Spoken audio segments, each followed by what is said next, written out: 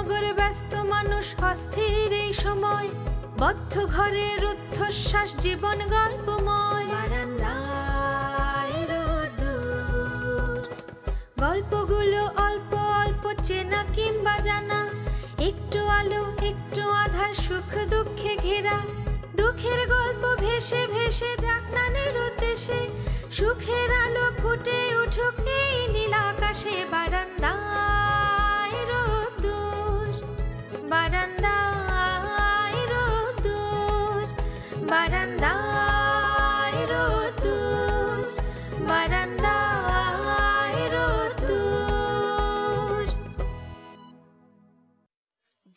যেভাবে পারো যেখান থেকে পারো একজন গণক আনবে।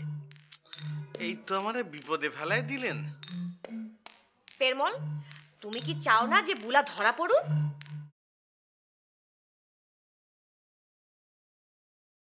এটা আপনি কি করলেন ভাবিজান?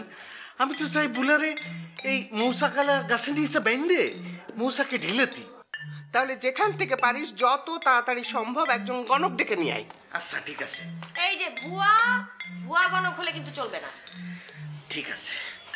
সাথী যান গরমটা কি স্যাংরা আনব না বুড়ো আনব পেরমল গেলি তুই?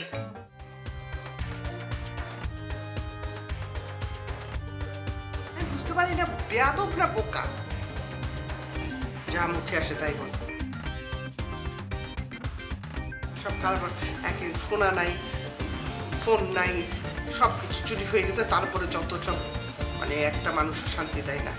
বের মল একরকম ছেলে মেয়ে আমার হয়েছে একরকম তোমার বাবা হয়েছে আর একরকম। তাহলে তো তুমি ভীষণ বিপদে আছো। ভীষণ বিপদ মানে অনেক বড় বিপদে আছে। আচ্ছা তখন কি তুমি সুজনকে দেখে লুকিয়েছিলে? আমার তো সেরকমটাই মনে হয়েছিল। কিন্তু পরে দেখলাম যে না সে না। আচ্ছা তুমি কি মনে করো পথে ঘাটে সুজন তোমাকে ডিস্টার্ব করতে পারে?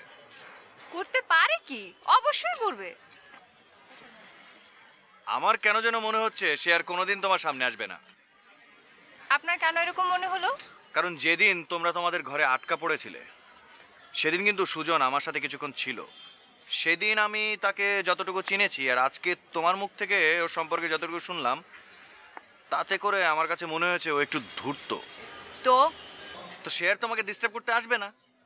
সুজনের হয়তো একটা আশ্রয়ের প্রয়োজন ছিল একটা ঢালের প্রয়োজন ছিল। এখন তো আর তোমাদের বিল্ডিংয়ে তার থাকার প্রয়োজন নেই। তোমাকেও দরকার নেই এবং এবং?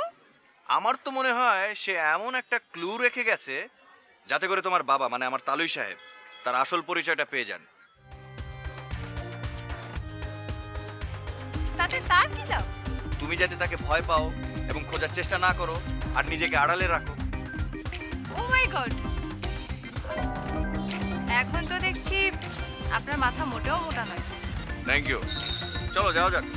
চলুন। আচ্ছা শোনো তোমার ভাবিকে কিন্তু একটু বুঝিয়ে বলো। বলবে যে আমার আসলে চেষ্টার কোনো ত্রুটি নেই। সেই বিষয়ে একদম টেনশন করবেন না আমি বুঝি বলি ঠিক আছে আর যদি মানে কারও ফোন থেকে একটু কথা বলে দেওয়া যায় না তাহলে সবচেয়ে ভালো হয়। আমি আপ্রাণ চেষ্টা করব সাগর ভাই। আচ্ছা আমি কি তোমাকে এগিয়ে দিয়ে আসব? তাহলে তো আমার জন্য খুবই উপকার হয়। যদিও আপনি সুজনের ভয়টা আমার মধ্যে থেকে অনেকটাই কমিয়ে দিয়েছেন। থ্যাঙ্কস চলো।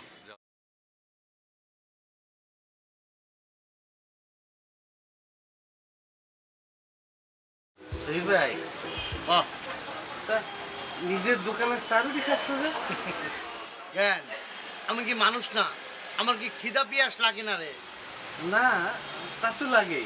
কিন্তু এর আগে তো তোমার তোমার দোকানে চারুটি খাতি দেখিনি। বুঝছি। তা তোর কাম হইল? কাম তো হয় না জহির ভাই। সুজন ভাই তো বাসা ছেড়ে দিছে। কস কি? বাসা ছেড়ে দিছে? কবে ছাড়লো? তা তো ক্ষতি পারব না। তবে আরেকটা কাম আনিছি। কি কাম এই একজন গণক লাগবে জহির ভাই। গণক? ওই যে ঝাড়ফুক দিয়ে যারা হারান যে বেড করে দেয়। তোরা কি গণক দিয়া হারানো গয়নাগাটি উদ্ধার করবি নাকি? হ আছে কি তোমার সন্ধানে কোনো গণক?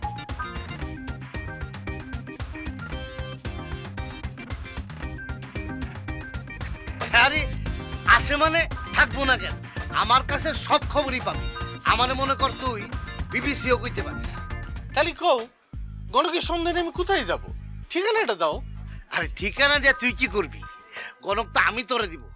অপেক্ষা কর। কতক্ষণ? আরে গণক কি আমার দোকানের চা? যে চাইলি আর ফটাফট করে বানায় গরম গরম তোরে দিয়ে দিলাম। অপেক্ষা কর। কাল সকাল ছাড়া পাবি না। কাল সকালে? হ্যাঁ। হায় হায় দেরি হয়ে যাবে তো। আম তো আমার এখনই নিয়ে যাতি করল। যান কইলেই তোর গণক পাওয়া যাবে না। আর গণক তো আর তোমার চাষির বাড়ির কামের লোক না। তুমি কি আমার কিছু কইলে জহির ভাই? আরে না তুই এখন যা। আমি কালকে একদিন গণক রাইতে কমু। আজকে তালি পরে কোনোভাবে হচ্ছে না? আজকে হচ্ছে না। তুই কালকে আয় দেখি কি করা যায়। ঠিক আছে। তালি পরে আজকে আমি আসি। যা যা। অনিমা সাগর পত্রিকায় বিজ্ঞাপন দিতে গিয়েছে। সেটাও যুক্তিসঙ্গত। কিন্তু গণক? গণক কেন? আচ্ছা গণক কি করবে? অন্যেরা যা করতে পারবে না গণক সেটাই করবে। কি করবে? থানা থেকে তদন্ত হবে তারপর চোর ধরা পড়বে। চোর ধরা পড়তে বছর দুয়েকও লেগে যেতে পারে। আর পত্রিকায় বিজ্ঞাপন দিয়ে চোর ধরা হয় জীবনেও শুনিনি। তার মানে গণক এসে তোমার সব কিছু বের করে দেবে? হ্যাঁ দেবে। তাই যদি হতো তাহলে দেশে কাঁড়ি কাঁড়ি টাকা খরচ করে পুলিশ র্যাব আইন আদালত এগুলো কিছুই রাখার প্রয়োজন ছিল না। তোমার গণকই সব করে দিত। আচ্ছা গণক যদি টাকা পয়সা গয়নাগাটি সব ফেরত দিতে পারে তাহলে তো আমাদেরই লাভ তাই না? আর যদি না পারে? তাহলে বড় জোর হাজার খানেক টাকা লস হবে। এটা আশা তো আছে। গণকের পিছে টাকা খরচ না করে টাকা খরচ করে দুটো লোক রাখো। তাদের খুঁজতে বলো। তাহলে হয়তো কিছু লাভ হবে। কি লাভ হবে যদি বুলাকে খুঁজে না পায়? দুটো লোকের পাঁচশো টাকা করে ইনকাম হবে। সেই টাকা দিয়ে তারা তাদের পরিবারের মুখে খাবার তুলে দিতে পারবে। গণকের কোনো পরিবার নেই? আরে গণক হচ্ছে একটা ভাওতাবাজ। ওর আয় হচ্ছে পাপের আয়। তোমার সাথে কথা বলাই বৃথা।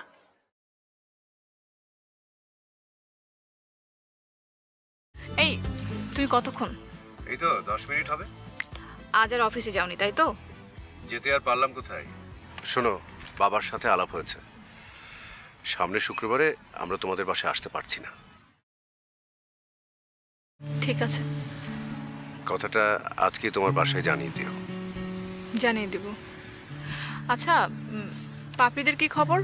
ওদের টাকা পয়সা গয়নাগাটি ফেরত পেয়েছে? আরে না না। চুরির মাল পাওয়া এত সহজ। তা অবশ্য ঠিক। আচ্ছা তোমার সাথে কোনো পুলিশের সম্পর্ক নেই? না না। চোর পুলিশ ডাকাত সন্ত্রাসী এদের কারোর সঙ্গে আমার কোনো সম্পর্ক নেই। তোমার তো কোনো বন্ধুও নেই।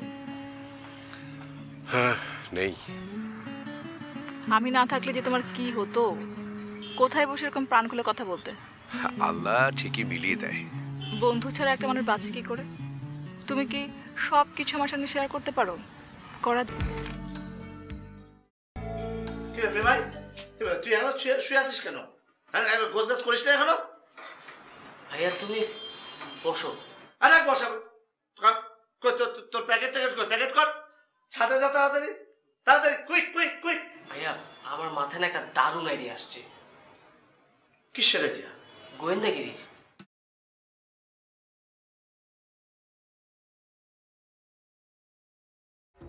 কীরকম? ধরো এই কেসটা যদি তুমি সলভ করতে পারো তাহলে তোমার একটা নিজস্ব গোয়েন্দা অফিস থাকবে। কীরকম কীরকম? তোমার নিজস্ব একটা অফিস থাকবে। তোমার দুইজন অ্যাসিস্ট্যান্ট থাকবে। বাসার সামনে একটা সাইনবোর্ড থাকবে। সাইনবোর্ডে লেখা থাকবে গোয়েন্দা মামুন। তার নিচে লেখা থাকবে একজন সফল প্রাইভেট গোয়েন্দা। প্রাইভেট ইনভেস্টিগেটর গোয়েন্দা মামুন? হ্যাঁ। একজন সফল প্রাইভেট গোয়েন্দা? আমি কি করব? আমি সাংবাদিক ডেকে তোমার পাবলিসিটির ব্যবস্থা করে দেবো।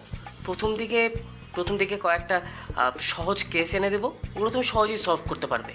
তারপর দেখবে কি চারিদিকে তোমার গোয়েন্দা মামুর নামটি ছড়াই গেছে। মেমাই আমি পারব তো? পারবে না মানে? অবশ্যই পারবে ভাইয়া। মেমাই ভাই আমার তুই কি আমার অ্যাসিস্ট্যান্ট হবে? নিশ্চয়ই আমি তোমার অ্যাসিস্ট্যান্ট হব। কিন্তু আরেকজন? আর একজন একটা মেয়ে অ্যাসিস্ট্যান্ট অ্যাপয়েন্টমেন্ট করতে হবে। তা না হলে না তোমার ভাবটা বাড়বে না। গুড ভেরি গুড তুমি চাইলে আমি রুবুকে বলে দেখতে পারি। হ্যাঁ?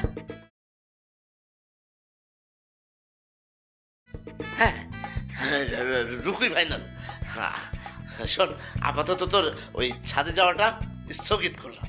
ওকে আমি উঠি। সাথীজান গণকের ব্যবস্থা করে ফেলেছি। কোথায় গণক? কালকে আসবে। সেই তো কাল। কেন আজকে আনলে কি হতো তোর? গণকে জহির ভাইয়ের দোকানে পাওয়া যায়। যে গেলাম আর নিয়ে চলে আসলাম। চুপ থাক। যা রান্না করে যা। এখনই তো কেবল সন্ধে চাচ্ছি যান এখন তো আর খাব না নে। তোকে খেতে বলিনি। রান্নাঘরে যা। যা পারিস সবার জন্য একটু রান্না কর। চাচি যান গো পেট জানি কেমন মোচড় দিতেছে।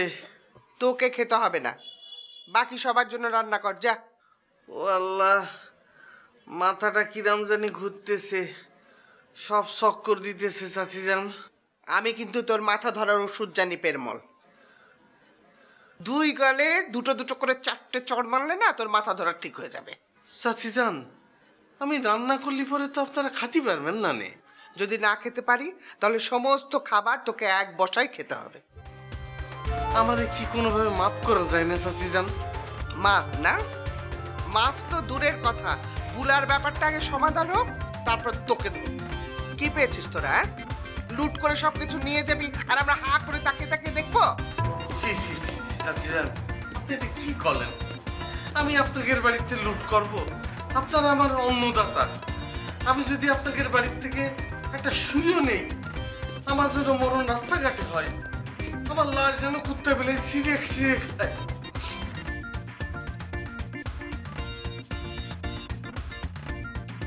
তারপর কি হলো? তোমরা দুজনে মিলে পত্রিকা অফিসে গেলে? হুম। তোমার ভাইটা কিন্তু বেশ কাজের। তা তো বটেই। দেখতে হবে না কার ভাই। ও। আসলে কি জানো? সাগর ভাইয়ের সঙ্গে তো আগে পরিচয় ছিল। মানে এখন মেশার পরে মনে হলো যে মাথাটা একটু মোটা বাট মানুষ হিসেবে কিন্তু বেশ ভালো।